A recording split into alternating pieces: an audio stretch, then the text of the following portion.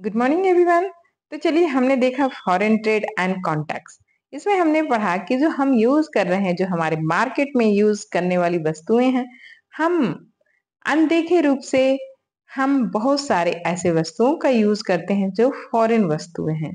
जैसे हम Chinese material use करते होते हैं, हम जापानीज मटेरियल यूज़ कर रहे हैं, हम बहुत ऐसे चीज़ हैं जो यूएसए से बन के आता है, बहुत ऐसी चीज़ हैं जो दूसरी दूसरी अलग अलग कंट्री से बन के आता है और उसे हम यूज़ करते हैं। लेकिन हमको ये पता नहीं रहता है कि हम ये ये वस्तु जिसका हम यूज़ कर रहे हैं, वो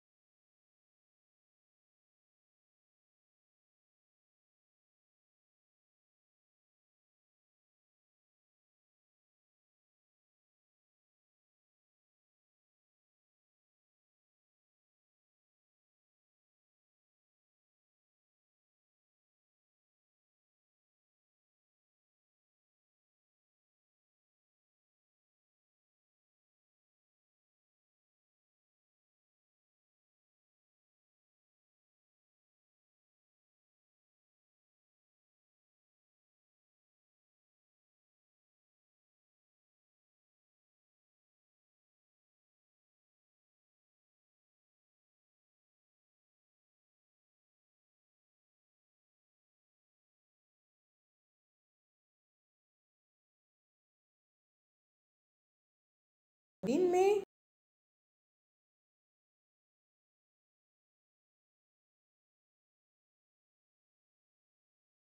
होता है।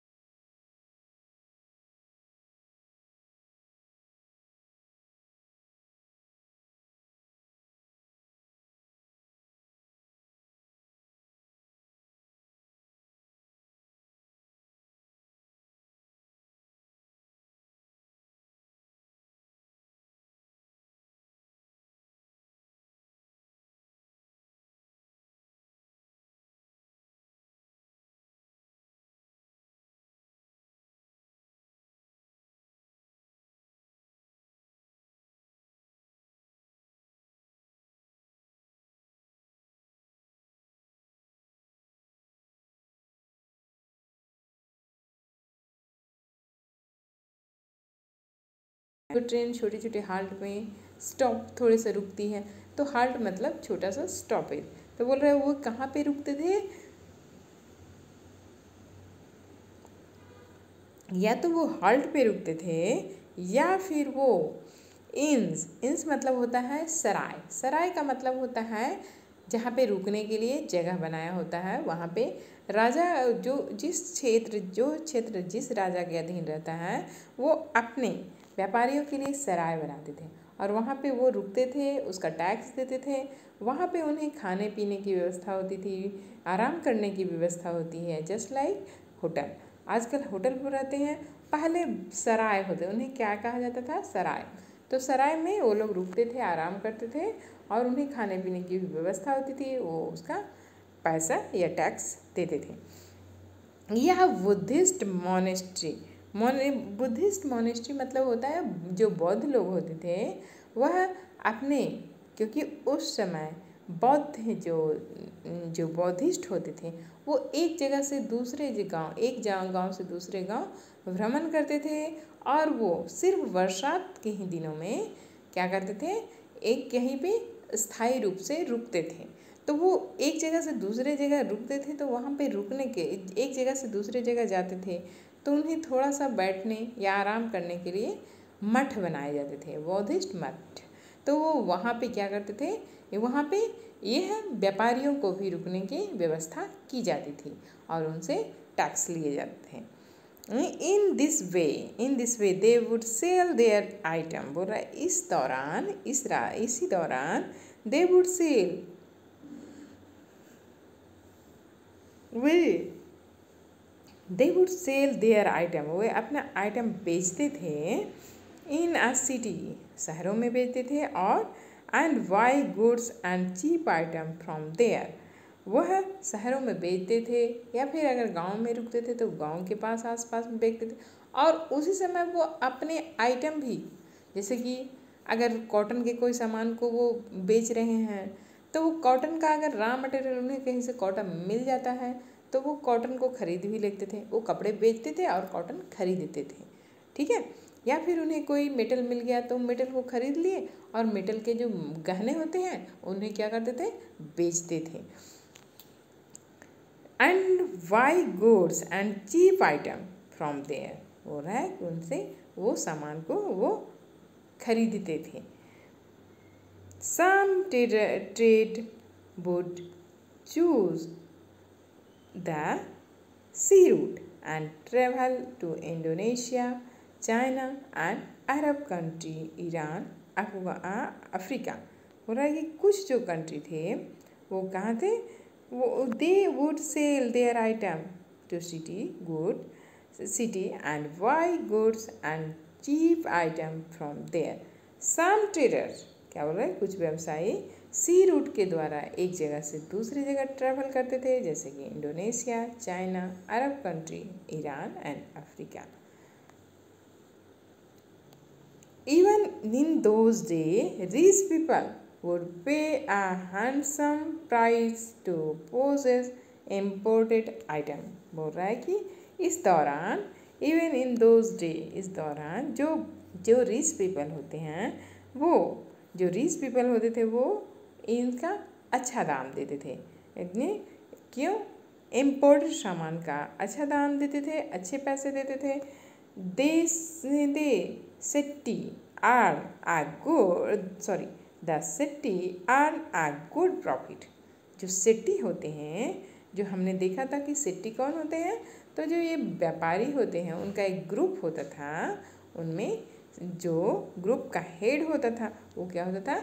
सेट्टी तो ये जो सेट्टी होते थे, उन्हें बहुत ही प्रॉफिट होता था good profit with the money earn they would construct huge houses and temple for their gods कि वो लोग अब जब जब बहुत ज़्यादा प्रॉफिट हो गया तो वो क्या करते?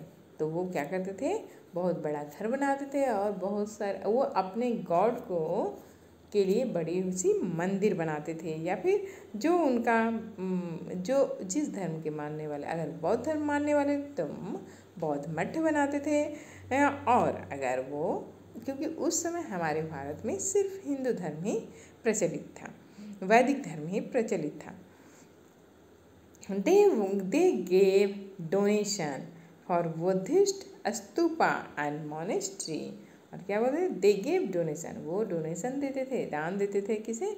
बौद्धिस्ट स्तूप को। बौद्धिस्ट स्तूप क्योंकि उस समय बौद्ध धर्म बहुत ही विकसित धर्म था ठीक है? तो उस समय बौद्धिस्ट स्तूपा एंड मोनेस्ट्री जो मठ थे उन्हें वो क्या देते थे? हम्म, मठ को और बौद्ध स्तूपा को वो अपना डोनेशन देते थे। Anjali again ask the teacher did the people continue trade with other country after Ashoka बोल रही है कि क्या अशोक के बाद भी हमारा जो दूसरे देश से कम्युनिकेशन था, दूसरे देश से जो व्यवसाय हो रहा था, वह हो ही रहा था क्या?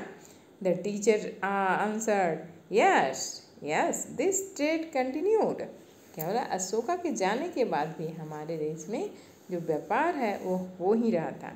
In fact it it increase later on बोल रहा है कि इन फैक्ट मतलब इसके बाद तो हम, यह और तेज़ी से बढ़ गया कैसे बढ़ गया in the previous chapter you had read how the rulers of Greece and Iran had conquered some state in the बो नॉर्थ वेस्टर्न कि तुमने पिछले जब हमने पिछले चैप्टर में देखा था कि जो हम, जो अलेक्जेंडर था अलेक्जेंडर, जो वो हमारा जो कुछ एरिया को, जो व्यास नदी के वेस्ट में था, उस एरिया को उसने कन्वर्ट किया था। और उसके जो जो राजा जो उसके कमांडर थे, वह कुछ एरिया, जो वेस्टर्न एरिया था, उसको क्या किए थे वो, नॉर्थ वेस्ट एरिया को जीता था।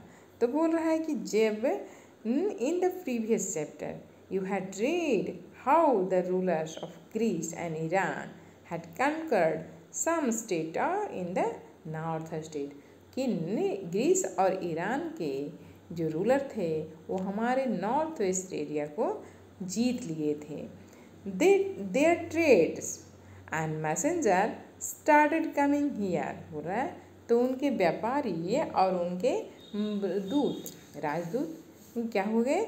हमारे यहाँ आना शुरू कर दिए। कमिंग हियर इसके द्वारा आने लगे and Indian trade began going there और हमारा जो भारत का व्यवसाय था, वो इसके द्वारा दूसरे देश में होने लगा। When the Maurya empire decline when the when मतलब जब द मौर्यन एम्पायर डिक्लाइन जब मौर्य एम्पायर डिक्लाइन हो रहा था the Shunga dynasty started ruling Maurya dynasty के बाद कौन सा डायनेस्टी आया? तो सुंग डायनेस्टी आया तो जो सुंग डायनेस्टी है तो वो स्टार्ट हो क्या रूल करना। Magadha and the south south the Satavahana come to the power हो रहा है, मगध में सुंग डायनेस्टी ने कमान संभाली और जो हमारा भारत का सौदर्न पार्ट है, वहाँ पे सातवाहन वंश ने, सातवाहन वंश शासन में आया पावर में आया।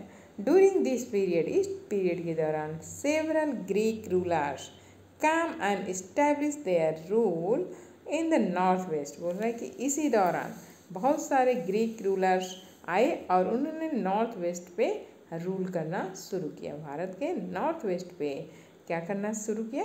रूल करना शुरू किया। Of these Sakas and Kushana were a prominent ones इसमें से शक और कुषाण भी एक थे। The greatest Kushan ruler was Kanishka. आपने सुना होगा कनिष्क का नाम? तो कनिष्क भी एक क्या था? कुषाण वंश का शासक था। कुषाण वंश का शासक कनिष्क था।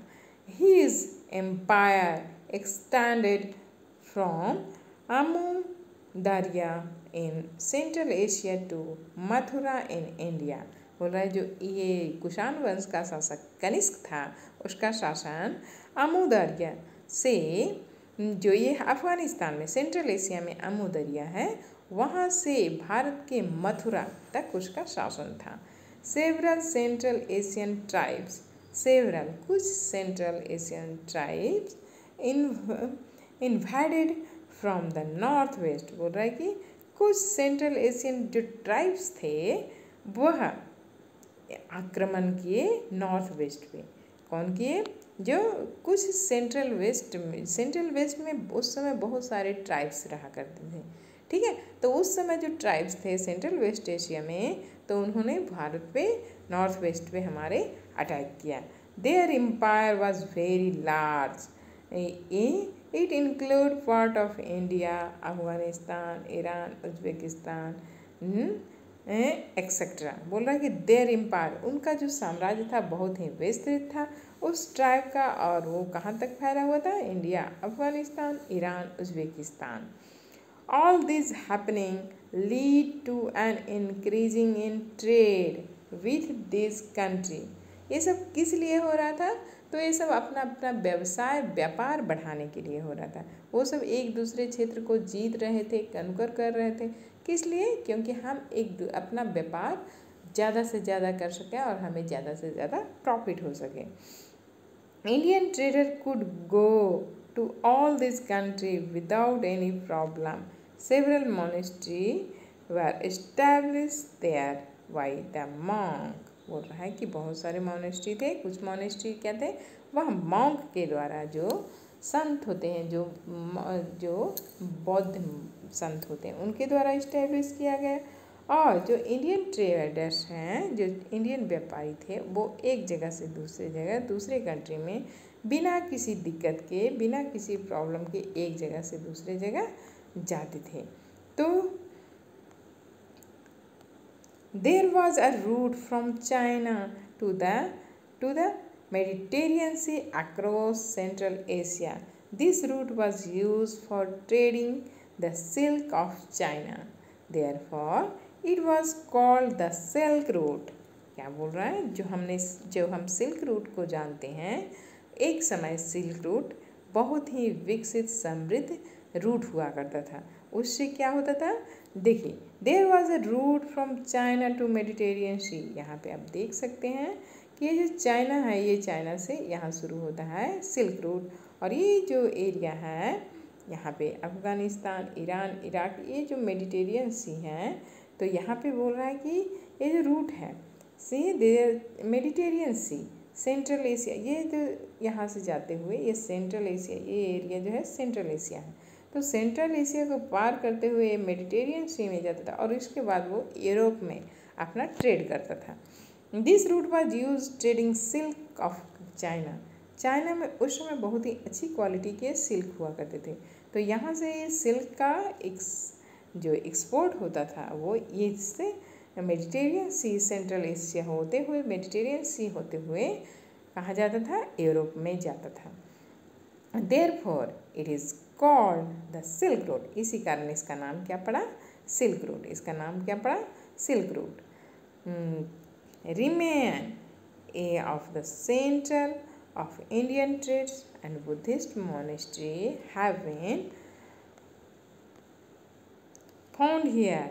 They show that people here used to travel far and wide to trade and preach their religion. बोल रहा है कि जो ये जो ये ये जो एरिया था इस पे जो हमारे बौद्धिस्ट थे और बौद्धिस्ट मोनेस्ट्री थे इस तो इस रूट के through central Asia remain the center of Indian trade buddhist monastery have been found here they so the people here use to travel far and wide for trade and preach their religion वो trade भी करते थे और उसके साथ क्या करते थे? अपने धर्म का प्रसार भी करते थे। अपने धर्म का क्या करते थे? प्रसार भी करते थे। फ्रीज देयर रिलीजन और आपने देखा होगा कि जो, जब तालिबान का अटैक होने से पहले जो सेंट्रल एशिया था, जो अफ़गानिस्तान, उसमें बुद्ध हैं। बौद्ध के बहुत बड़े बड़े प्रतिमा पत्थरों को काट